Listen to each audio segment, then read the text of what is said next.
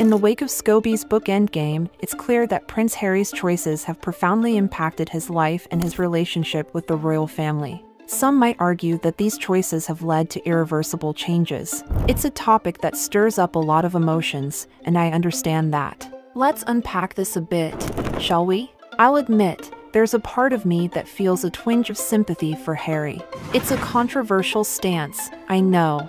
After all, he's a man who's made his own decisions. He chose to marry Meghan and, in doing so, his life took a dramatic turn. There's a narrative that suggests Meghan has had a significant influence on him, possibly even leading him away from his family and his roots. But let's pause for a moment. It's easy to fall into the trap of making assumptions about someone's mental state, especially when we're not experts. The idea that Harry might not be mentally sound or that Meghan is manipulative, these are serious claims. Some have even suggested that Meghan suffers from narcissistic personality disorder. It's worth noting that these are speculative opinions, not diagnoses from mental health professionals. Remember the South Park episode that portrayed Meghan in a certain light? It's an example of how public figures can be represented in media, but it's important to differentiate between satire and reality. As for Meghan's acting career, opinions vary. Some say she wasn't the most convincing actress, attributing her success to connections and looks. But acting, like any art form, is subjective. In this complex situation, what's next for Prince Harry? His journey from here is uncertain. But one thing is clear his decisions have reshaped his path in a way that's captured the world's attention. Diving deeper into Prince Harry's story, there's a lot to unravel about his relationship dynamics, especially with Meghan Markle. It's often said that Meghan doesn't fully grasp a wide range of human emotions, which has been a topic of discussion among royal watchers. Opinions vary on her emotional depth, with some suggesting she primarily experiences feelings like anger or sadness. There's a prevalent belief that Meghan never planned to remain a working royal for long. Many speculate that her ultimate goal was to distance Harry from his familiar world, making it easier for her to have a greater influence over him. Admittedly, Harry played a role in this narrative by choosing to follow this path. Despite advice from his brother Prince William and his grandfather Prince Philip to take things slow with Meghan, Harry, known for his strong-willed nature, chose a different route. Prince William's counsel to Harry was to proceed cautiously in his relationship, but Harry, perhaps feeling underestimated by his brother, decided otherwise. This decision has led some to question Harry's maturity, suggesting that he has struggled to grow emotionally beyond his younger years, particularly since the loss of his mother at a young age. Harry's own admission that he struggled to come to terms with his mother's death well into his adult life paints a picture of a man grappling with profound grief.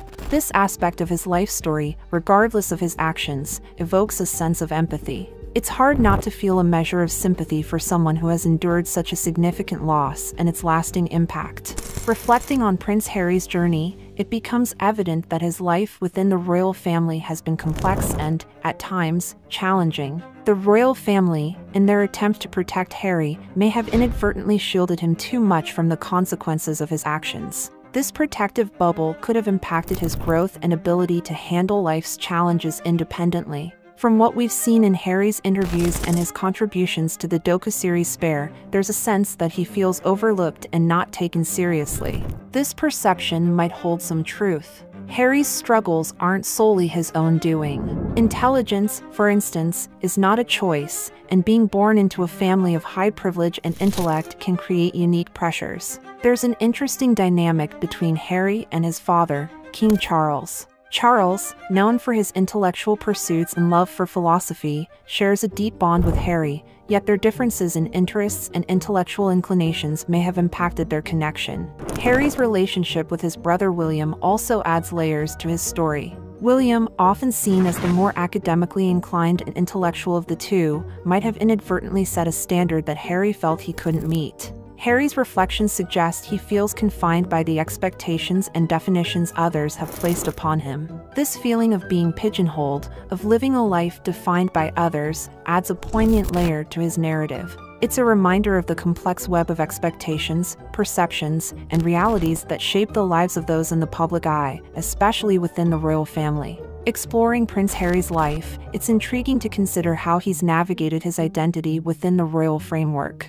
There's a narrative that Meghan played a key role in Harry's decision to move to America, offering him a chance to redefine himself away from the royal spotlight. However, to many outsiders, Harry always appeared to have the liberty to make personal choices. His party boy image, often highlighted in the media, seemed to be a result of his own actions rather than a construct of the palace. Harry's perception, however, seems to differ. He has expressed that he felt pigeonholed by the media into this party prince persona, feeling compelled to live up to that image. This suggests a deeper struggle with his public image and identity. There's also been speculation about Harry potentially having a learning disability, with mentions of ADHD or dyslexia.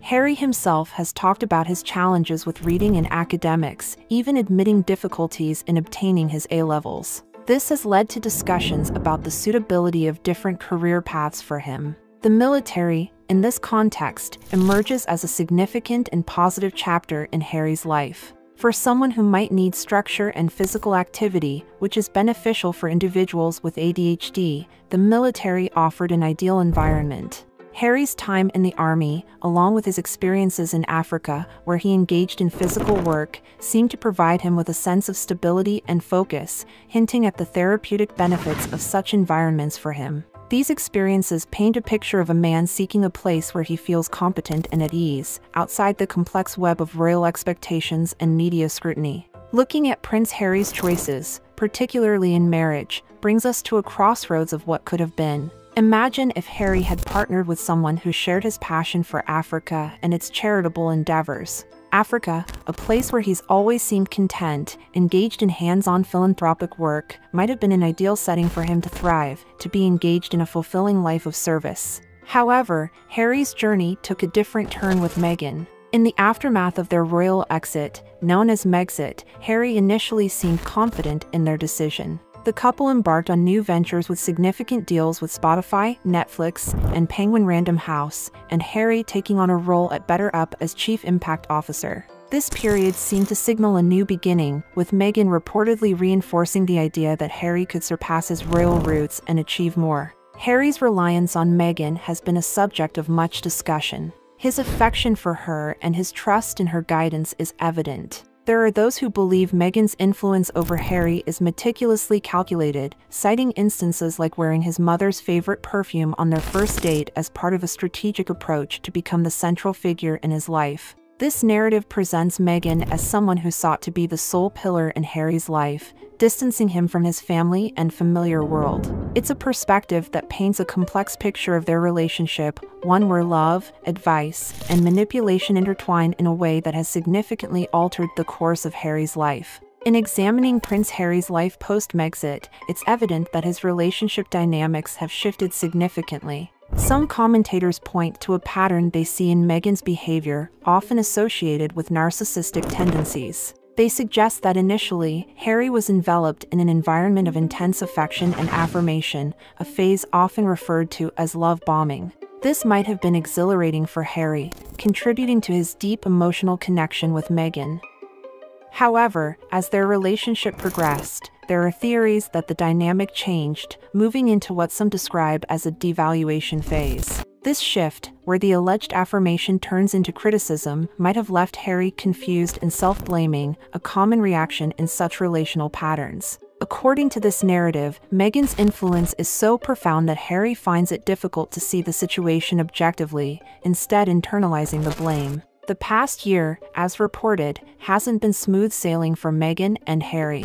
Behind the scenes, there's speculation about the nature of their interactions, with suggestions that Meghan's temperament can be volatile. This portrayal raises questions about the balance of power in their relationship and Harry's ability to confront any challenges they might face. Amidst this, there are growing reports of Harry's desire to mend ties with his family. While Meghan's stance towards the royal family is often portrayed as indifferent or negative, Harry's inclination seems to lean towards reconciliation. It's a complicated situation, with emotions and loyalties pulled in multiple directions. Harry's journey reflects the ongoing struggle of balancing personal choices with the expectations and relationships of a life lived very much in the public eye. As Prince Harry continues his life in the US, his sense of belonging and identity appears increasingly complex. Post Endgame, his distance from the royal family and his roots in the UK seems to be causing him significant emotional turmoil. Reconciling with his family, particularly after the revelations in Endgame, is not a straightforward task.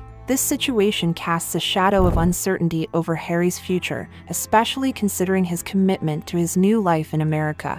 Nick Bullen, co-founder of True Royalty TV and someone familiar with the royal family, shared his thoughts with Fox News Digital. He opined that Harry's future seems uncertain and that the choices Harry made, like his Netflix deals and the release of Spare, are paths he willingly took. Bullen suggested that Harry might need to find comfort in his Californian lifestyle, possibly focusing more on the Invictus Games, a project close to Harry's heart. However, the dynamic with Meghan introduces another layer to this scenario. There are opinions that Meghan's presence overshadows Harry's individual endeavors. This was notably discussed in the context of the Invictus Games, where it was anticipated that Harry might appear alone. Yet, Meghan's participation in the event raised questions about the balance between their public roles and the space for Harry to engage in projects independently. The notion that Meghan seeks to dominate the narrative and the spotlight in their joint appearances is a point of contention among observers. This dynamic has led to discussions about whether Harry can truly carve out his own niche and voice in their shared public life.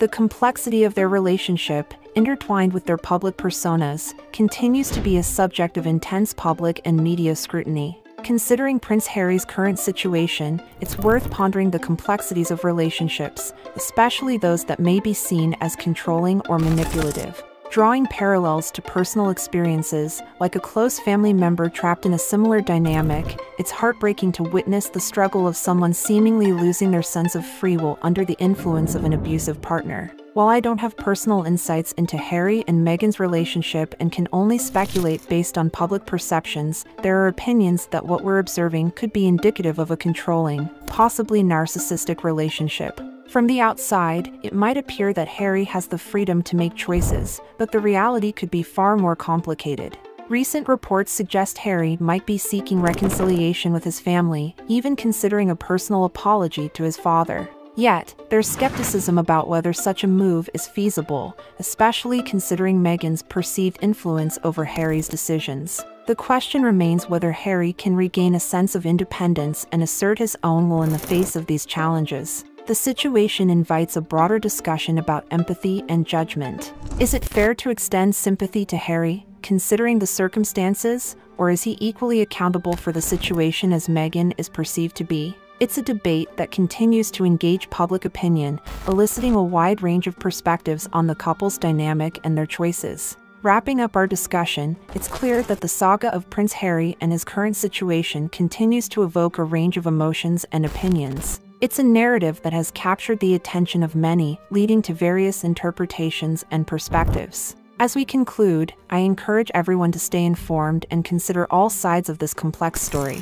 It's important to approach such sensitive topics with an open mind and a thoughtful perspective. The debate around Harry's choices, his relationship dynamics, and his future will undoubtedly continue to be a topic of interest. Thank you for joining this conversation. It's always enriching to delve into these intricate stories that not only involve public figures but also touch on broader themes of personal autonomy, relationships, and the challenges of living in the public eye. I look forward to exploring more such intriguing topics in our future discussions. Have a great day and stay engaged with the stories that matter.